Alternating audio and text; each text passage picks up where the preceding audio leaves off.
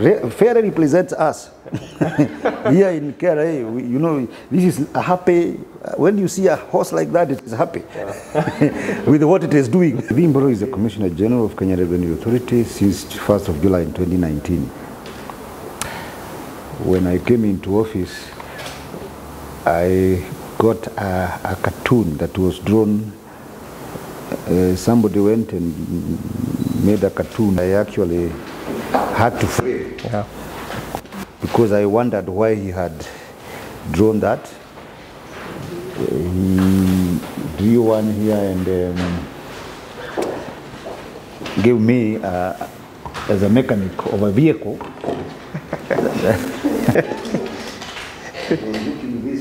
I didn't know why he did it. Yeah.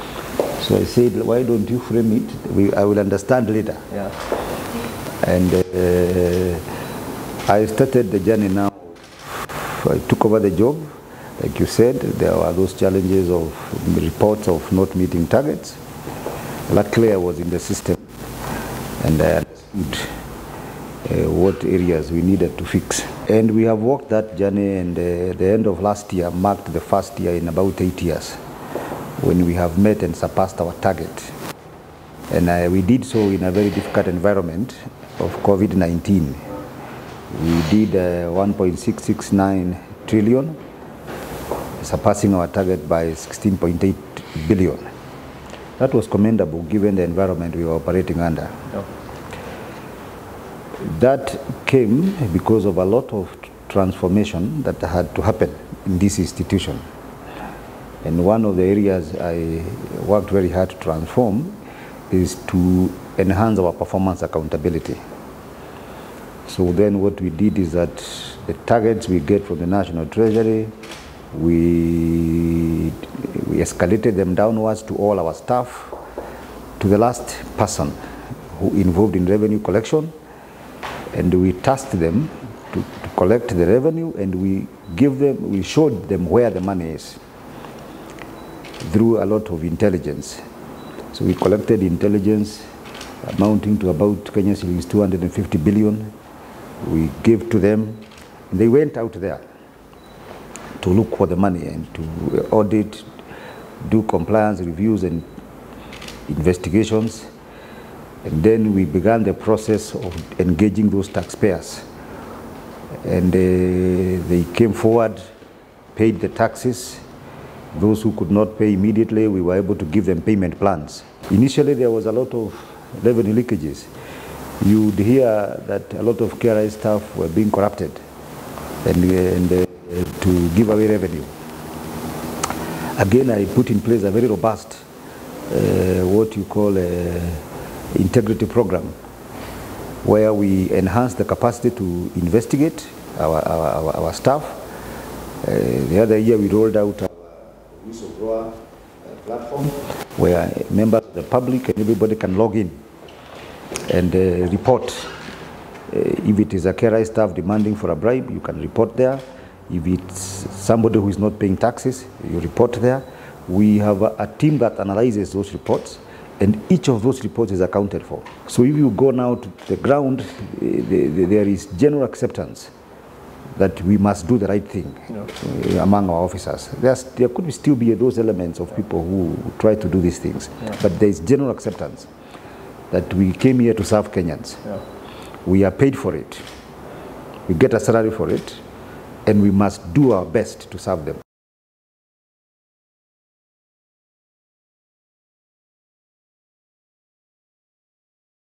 I wish Kenyans would understand that after doing this job for many years, it stops being a, a job, it becomes like a calling.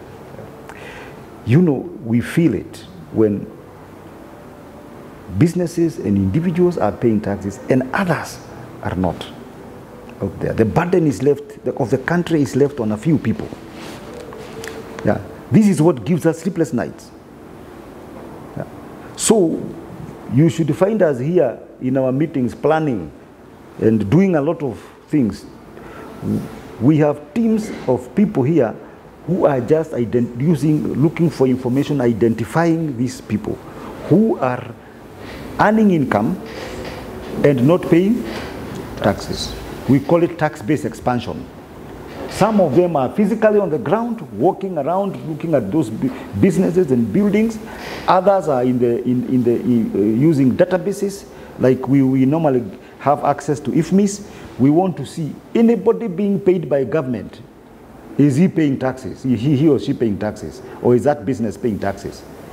If you, if you are earning from government, so we, we follow that, then we are able to, to work with the, like I said, to work with other third parties, uh, like, like Kenya Power, we want to see, because you cannot, uh, we, okay, we know you can build a house from loans, but that loan must be repaid from somewhere, isn't it?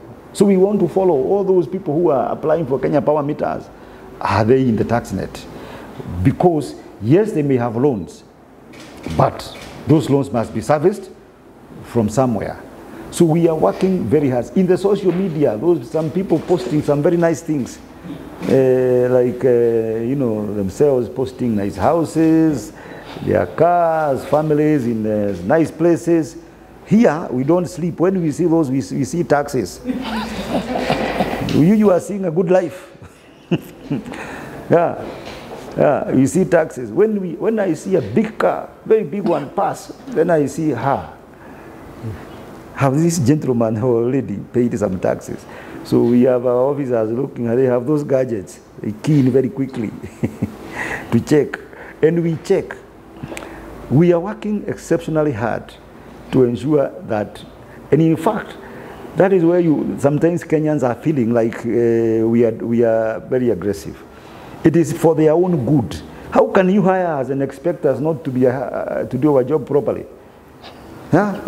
if you hire people and you find them sitting in the, in the, in the, in the shamba, yeah, they are just wanakula gunzo huko kwa shamba. So what do you do? And you hired them to finish to give you out, output, isn't it? By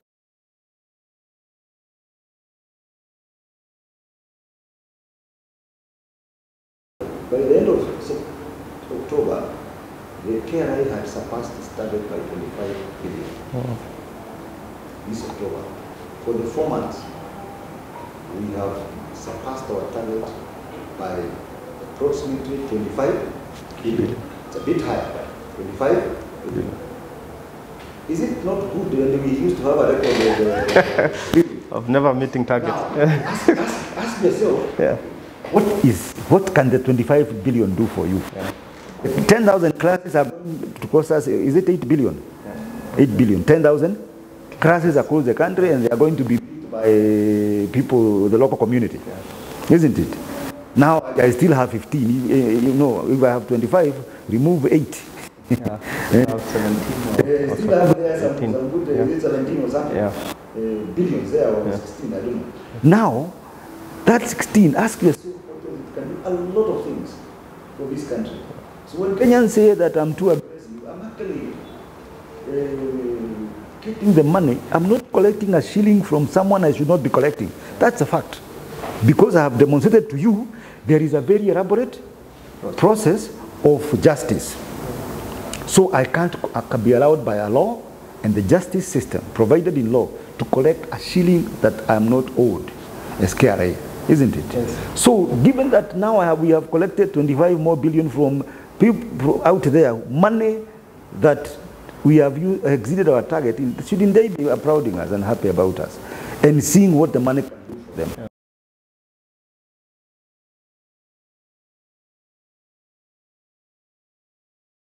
Maybe uh, let me start by answering the question of someone having a tax compliance certificate so that we settle that. Yeah.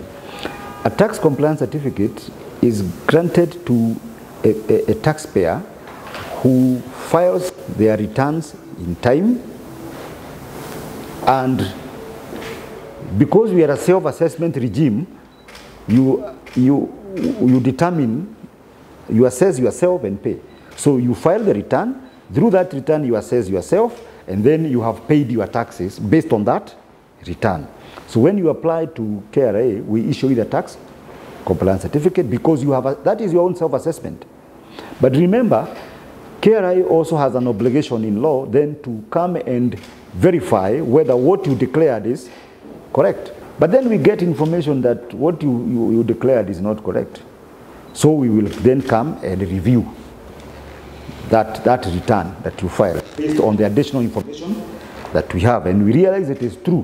What you have um, you filed and declared was not correct. Then we ask, we assess you and tell you, having reviewed your records, we have realized you owe us this money. Now the tax compliance process gets into problem because the commissioner has a different position from what you had. Then what we do is that we do not withdraw your certificate at that point. Very important to note. Because there is still a process of, in law, for you now to demonstrate to the commissioner whether, that this is, whether his findings are true or correct or not. We proceed with the dispute resolution and the commissioner gets, for example, the first object, independent judgment, say in the tribunal. Somebody independent has actually now even confirmed the, the, the, view of the commissioner that indeed you owe this money. Now at that point, the commissioner has the right to withdraw that, that certificate. If you want to retain your tax compliance certificate, you can come, you can uh, discuss and negotiate with the commissioner and say if you accept the tax obligation and you, you, you, you agree to, to pay, the commissioner will allow you to continue with your tax compliance certificate because there is now a process of recovering that tax. But if there is no agreement at that point, then the commissioner reserves the right to withdraw that certificate. And then, because you are not compliant, we interpret tax laws. And once we interpret them, we then determine the taxes based on our interpretation. And then we give you the findings, you tell us your interpretation. So there may be a disparity between our interpretation and yours. And that is what would primarily happened with the betting farms. They had their own understanding of, of, of winnings and those are kind of things. But we had our own different interpretation. Obviously, they would interpret it trying to do it to the advantage. For us, we are doing it, that interpretation in the public interest. We want to collect money. We are here to get money for government. And Kenyans must know this is their money we are collecting for them so that they can have a road, they can have services, they can be able to have education and hospitals. Yeah? We are doing it on behalf of the public.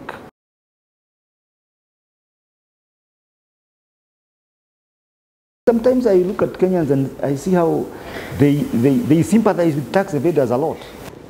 A lot. You see, they are very angry when people steal money from KEMSA, from uh, these other places, uh, and uh, corruption money they do, isn't it? Yes. Very angry. But when a tax evader is being arraigned in court, oh, KRA is closing businesses. KRA is, to, is it not the same money? Uh, if I may ask, it's the same money. No. The money that is stolen by, uh, through corruption and the one that is, that is stolen through tax evasion is the same money. 100%. And it is the same public money because it ought to have come to the coffers. So do not sympathize with tax evaders. Allow us and the courts and the justice system to sort out this issue. Because we have checks and balances. We have the law, we have the justice system. And even if the, the, the, the first court says uh, KRA is wrong and we feel not, as the representatives of the public, we have the Court of Appeal. We have the Supreme Court. When we reach the final one, then we, we have no other recourse, isn't it? Then the judgment is given and uh, we have to comply, isn't it? So that is how I would see it. They stop seeing tax evaders as some nice people.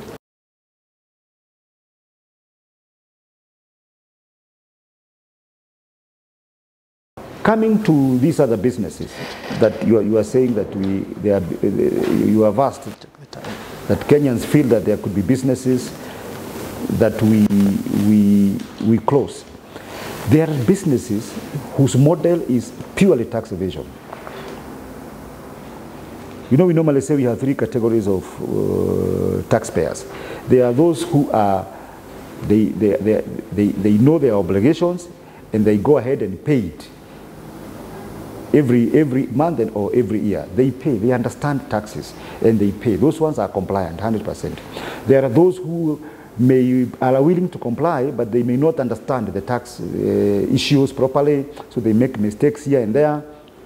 Those ones again, when we identify the, the money, they go through the process and they, they pay the taxes. But there is a category of taxpayers Kenyans must understand who have built businesses and uh, their, their, their livelihoods through tax compliance. We say those ones are won't pay and can't pay. And the law recognizes those three kinds of people and has provided on how KRA should deal with them. Under, under the Tax Procedures Act, the law has a particular section, uh, particular sections dedicated to tax evasion. And the words here are willfully and deliberate. When we have evidence that this is willful and deliberate, it becomes tax evasion. And this tax evasion then is dealt with in accordance with the law. The law says then you have committed an offense. And when you commit an offense, it, it, it, it stops being civil to criminal. Therefore, now, when we are faced with that kind of a situation, we have to deal with it as such. But so we have to investigate you. If you are, if for example, is a, a manufacturer of alcohol, and those are sometimes uh, the most affected with this uh, um, tax evasion, then you you we find you in your premises you are fixing fake stamps on your products. The objective is obvious. You want to evade the taxes because the stamp is the one that we use to account for taxes. We give it to you. And now you are affixing fake stamps. And this offense, part of it may involve maybe you have tampered with the, the, the, the equipment. For example, a manufacturer is required to install flow meters so that we can measure the, the, the product. You have tampered with it. I will be able to preserve that scene because I need to take a magistrate there to see. So sometimes we have to mark those uh, scenes, scenes of crime, and uh, the, the, the critical thing is to expedite the investigations, conclude, then the court process can be concluded. If a magistrate will be able to visit that scene as quickly as possible and mark the evidence, note the evidence, then we can, we can release that scene and you can continue producing. But before that is done, sometimes it is difficult because then how would we be able to prove that there was a, uh, you were, this was a deliberate act, you even tampered with the, the flow meters, you tampered with the equipment that we have put in there to help us uh, determine uh, uh, your production. So sometimes it's difficult and we have to do exactly that.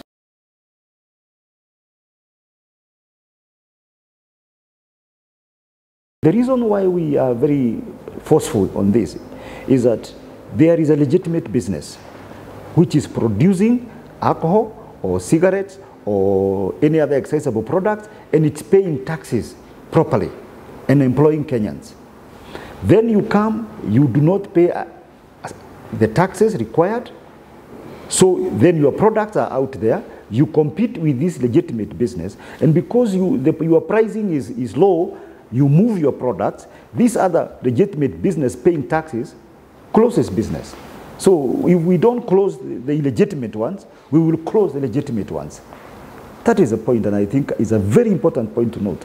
That if we allow the tax evaders and illicit manufacturers to continue, we are effectively closing the other businesses that pay taxes because they have to close because their stocks will be there.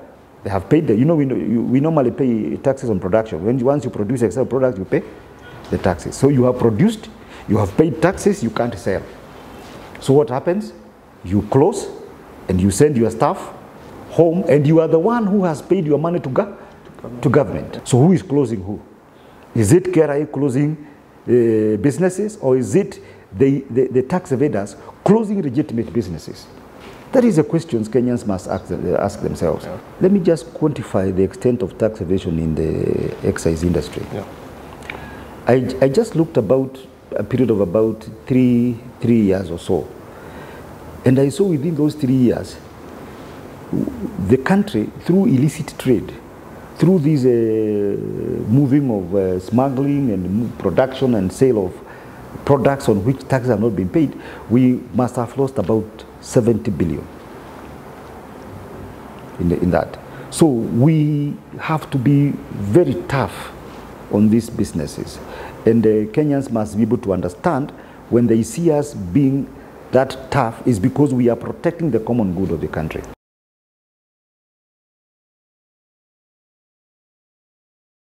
If there is anyone who is being mistreated by KRA officers, like I said, we have a process mishandled. Get into our eye whistle, get into our contact center.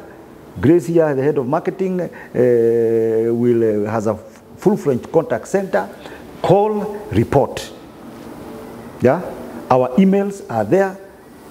Call, report, because we have emphasized we are here as servants. Yeah, to serve the people of this country. But we also expect, surely, when we are working so hard, uh, don't then tell us you have, we told you to, to do this little, you have done too much. No, just tell us, thank you very much for bringing this home. Now we have a bigger cake as a country. We can do much more.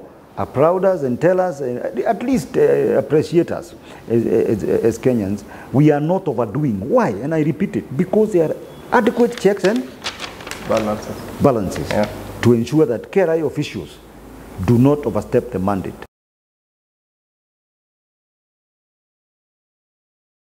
In terms of separation with our staff during that particular period, eh, we have had, I, I know we have a group that is in court, They're still in court at, up to the moment, going through, through those criminal charges. But in terms of investigations, we have completed a significant number, and I am sure that more than, within that period, more than 80 of our staff have gone home. That's a big number. Yeah. That's a big number. It expresses the seriousness we have Yeah. in terms of um, ensuring that uh, we do we have zero tolerance on, on corruption. And uh, even when we have not gotten you directly doing something wrong, and we have intelligence that you are doing the wrong things, we have a lifestyle audit Yeah. uh, framework. And what we have, each year we do about 15 to 20 uh, lifestyle audits. Very targeted ones. And what we have done with those reports is that once we finish th- those lifestyle audits, we share those findings with the EACC. Why we do so? Because we collect taxes. Of course, we, we will uh, assess you for taxes, even if you are a KRA staff, because we collect taxes ourselves from every, every income. Whether it is legal or not legal, as long as taxes have not been paid on it, we collect taxes. Even if we find that you have wealth which you cannot demonstrate the manner in which you acquired it, all we ask you is to show us that it is uh, whether you paid taxes.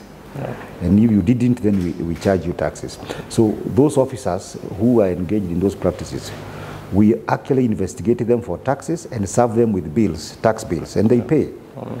Then, number two, we take them through a disciplinary process because if you can't explain how you got your wealth to us, is, is, is misconduct. Then we then send those reports to, to EACC. And EACC, if you get there now, they are investigating cases that we uh, that they have been shared with them by Kenya KRA office- for KRA officers. So that way, our staff now are very careful in terms of what they do. So sealing all those loopholes again has helped us.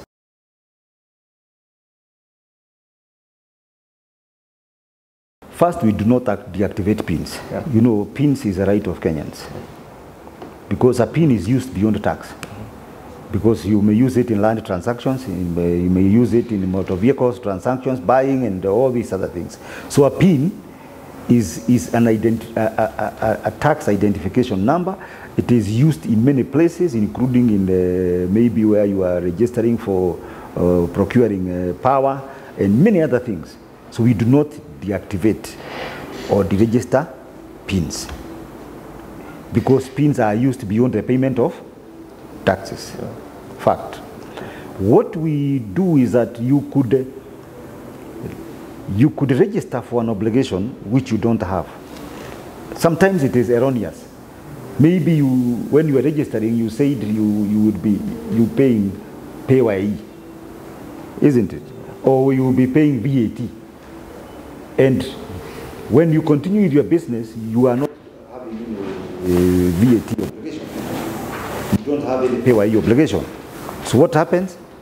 So that particular obligation, we have to do what? To remove it from you. Because some of these pins then are misused by people, by criminals, to start claiming uh, input tax. For example, your AP, somebody may use it without your knowledge to claim some VAT purporting to have sold to you. But in our system, if you do not have that obligation yourself, the PIN cannot be used to claim uh, VAT obligation because you don't have it yourself. So we, we, what we were doing is to just remove an obligation which you don't have so that we stop thinking that we have um, uh, one million have Yet, those, some of those obligations are erroneous. And we went ahead and we did a lot of that. Cleaning is just cleaning up.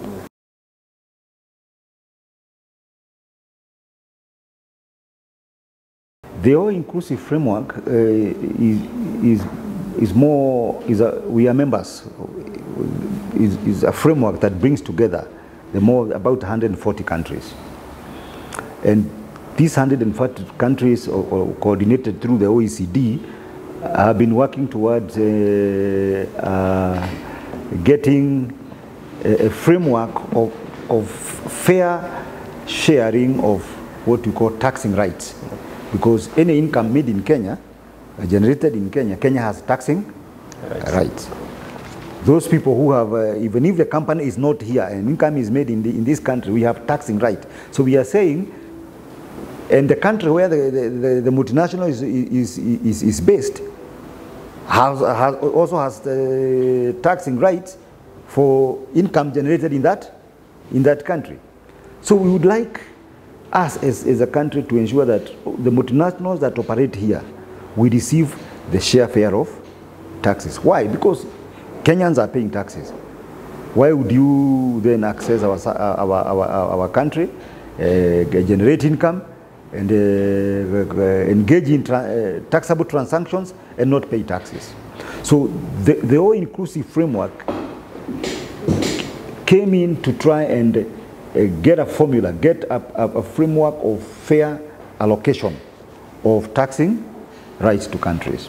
So the, the countries reached an agreement that, that, that, said, set out a criteria that um, for those multinational companies that are operating in various jurisdictions, this is how they, they, they, they those jurisdictions will receive uh, taxes, uh, will collect taxes from them.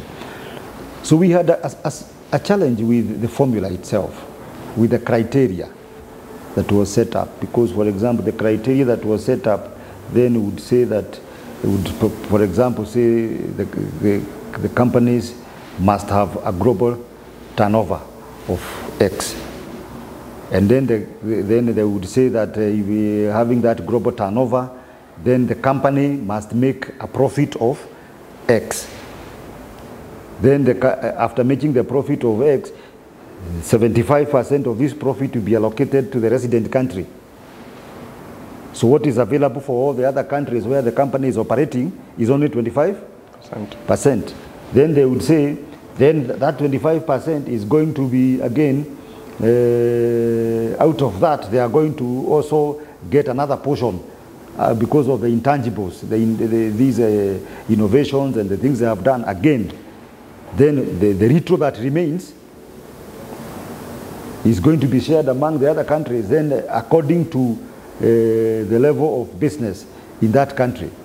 So we had some issues that we had there we were asking then. When they did that formula, out of the many uh, companies operating in the digital economy in this country, which we were about eight or nine, only about 11 were in scope, meaning that the rest are, are out. They are earning income here in this country, but they will not be able to, we are, their income is not going to be, to, to be distributed. Kenya will not have a share of that income. Those are that are out of scope, including even Netflix, uh, which operates here, people are downloading movies, is not supposed to pay taxes here according to that formula. Hmm?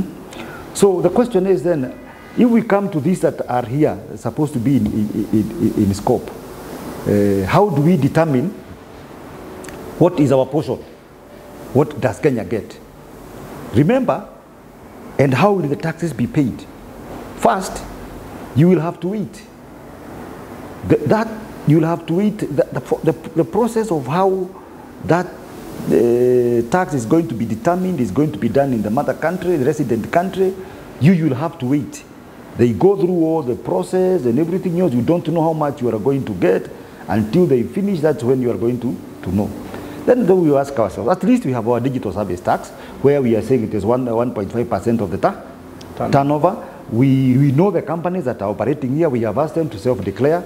They, self, they may not be paying, uh, uh, we may not have had started to validate what, what they, are, they are paying, but at least they are filing returns and paying something, and we have a definite amount we are getting. So that we know. So we, the engagement we are having with OECD right now is for them then to, to, to disclose to us the numbers.